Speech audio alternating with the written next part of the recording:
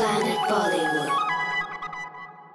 I was in New York and he told me that you have to hear this story. So I'm like, okay. I said, why is he telling me that you know I should do this film जहाँ पे um, लड़का लड़की का दोनों का एक समान किरदार है तो आई थॉट कि चलो सलमान ने कहा है कि I should at least hear it नहीं तो you know he will feel के यू नो उसने सुनी भी नहीं कहानी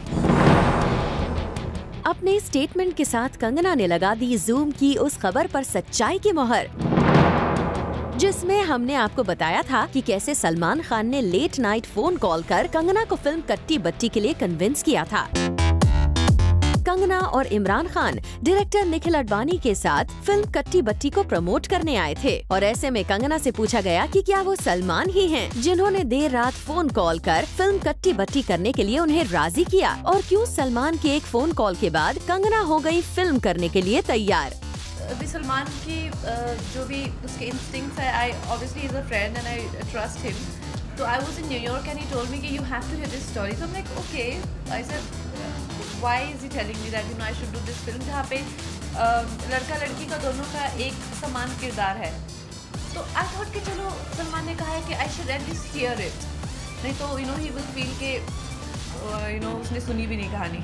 When I heard it, I immediately, like within one second, I said yes. I said I should do this. I love the story.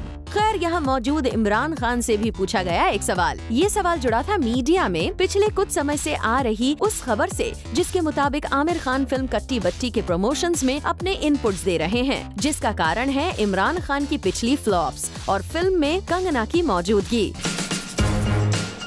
जिसने इमरान के करियर को लेकर आमिर की चिंता बढ़ा दी है। लेकिन जब यही सवाल इमरान से पूछा गया तो न केवल इमरान, बल्कि कंगना और डायरेक्टर निखिल अडवाणी भी इस सवाल का जवाब देने आगे आ गए।